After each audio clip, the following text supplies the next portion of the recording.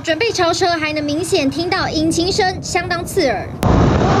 骑士一时兴起，觉得好玩，把车头一抬，耍帅翘狗链，而且短短的路程不止炫技一次，甚至身旁还有很多车友疑似集体在马路上竞速。有人行经新北市新店北一路时，目击这一幕很紧张，就怕一不小心连自己也被波及。只是这名骑士的身份引起热议，有人一眼点出他是重机界小有名气的北一借过姐，而会有这个称号是因为他喜欢狂催油门压车超速，但。到底是不是同一人？其实从车型、猫耳朵、安全帽，还穿着短裤配黑丝，拥有逆天长腿，看起来确实几分相似。而且警方调查，车主是一名冷姓男子，男扮女装的借过节，小名也叫冷冷，姓氏一模一样，不免怀疑可能就是本人。但实际到底是谁，恐怕要等他自己到案说明，才能真相大白。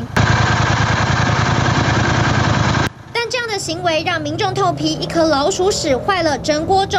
后续警方将会开罚新台币六千元以上三万六千元以下罚款，甚至六个月不能上路。毕竟当街炫技，自以为好帅，却可能造成别人受伤。TVBS 新闻黄建国也身份新北采访报道。想看最完整的新闻内容，记得下载 TVBS 新闻网 APP。